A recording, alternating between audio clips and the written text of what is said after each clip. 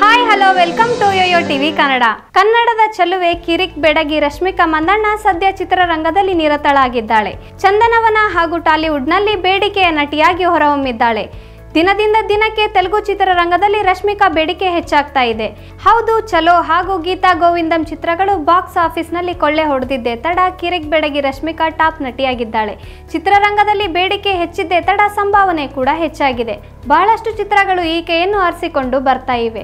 ರಶ್ಮಿಕಾ ಬೆಳವಣಿಗೆ ಟಾಲಿವುಡ್ನಲ್ಲಿ ಗಟ್ಟಿ ನೆಲೆ ಹೊಂದಿರುವ ನಟಿ ಸಾಯಿ ಪಲ್ಲವಿಗೆ ಪೈಪೋಟಿ ನೀಡ್ತಾ ಇದೆ ಎಂದು ಟಾಲಿವುಡ್ನಲ್ಲಿ ಕೇಳಿ ಬರ್ತಾ ಇದೆ.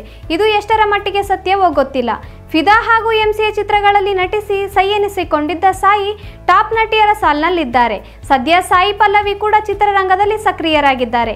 ಆದರೆ ಸಾಯಿ ಪಲ್ಲವಿಗೆ ಹೋಲಿಸಿದರೆ ರಶ್ಮಿಕಾ ಮಂದಣ್ಣಗೆ ಜಾಸ್ತಿ ಅವಕಾಶ ಬರ್ತಾ ಇದೆಯಂತೆ. ಕತೆ ಇಷ್ಟವಾದರೆ ಸಾಕು, ಯಾವುದೇ ನಟ ಜೊತೆ ನಟಿಸಲು ರಶ್ಮಿಕಾ ಒಪ್ಕೊಳ್ತಾ ಇದ್ದಾರಂತೆ.